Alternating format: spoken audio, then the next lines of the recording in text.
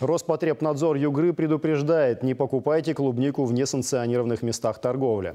В наш регион начали прибывать первые партии ароматной ягоды. Товар, как правило, идет из Кыргызстана и Азербайджана. Сравнительно невысокая цена 700 рублей за 2 килограмма привлекает жителей Югры. Однако специалисты Роспотребнадзора призывают к осторожности. Во-первых, при покупке ягод необходимо запросить у продавца документы на клубнику и санитарную книжку.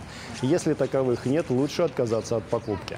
Вдобавок следует обратить внимание на внешний вид ягод. Не приобретать клубнику с вмятинами, неоднородной окраской, с желтыми листьями и без яркого аромата. Клубника может быть опасна по микробиологическим показателям, а именно наличие бактерий группы кишечная палочка, сальмонеллеза, а также и по плесени.